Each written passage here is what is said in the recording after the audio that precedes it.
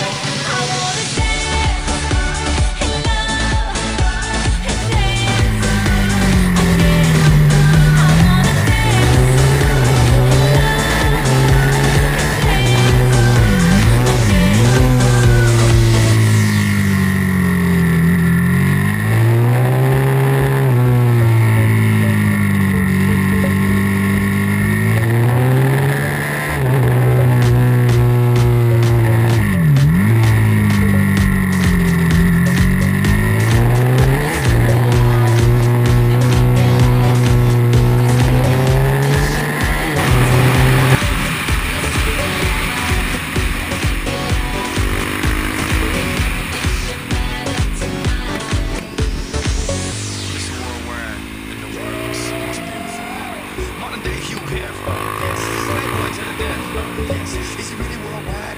Yes.